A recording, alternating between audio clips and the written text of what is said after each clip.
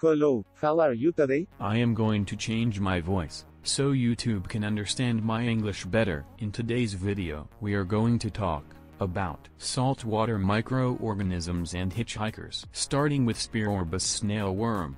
Tiny white spirals on your glass, rocks, substrate and even powerheads. They are harmless filter feeders.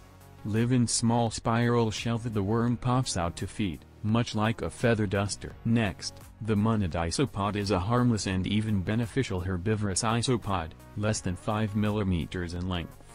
They are typically found on the glass and rock and just about any surface that has algae to rasp. Moving on to the scary bristle worms. Some types are beneficial, but those that are not can, if left alone, overrun your tank. Best to identify the type.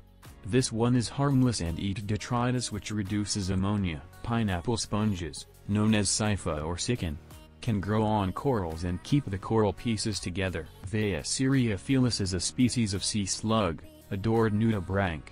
This red-orange nudibranch can grow up to 6 mm in size. It is beneficial and eats green algae from rocks and glass. Jewel anemone are common live rock hitchhikers.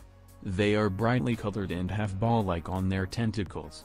They are not harmful to corals but might reproduce and take over your rock, similar to their cousins, strawberry anemone. Also common hitchhikers, not harmful and sometimes look nice in crevices. Both anemone are active at night. Don't be scared when you see them, unlike Aiptasia they do not sting corals and live on their own. You can remove them with turkey baster. Up next is a type of feather duster. The spaghetti worm, is a segmented worm, a marine relative of the earthworm. These worms are normally harmless to detritus eaters, but they can annoy corals if they are constantly moving around near the base of them. We've had those for six months now and we notice no changes in the coral growth. Aiptasia sea anemones can overpopulate your reef tank and sting corals. Simply pulling them out only leads to a population explosion.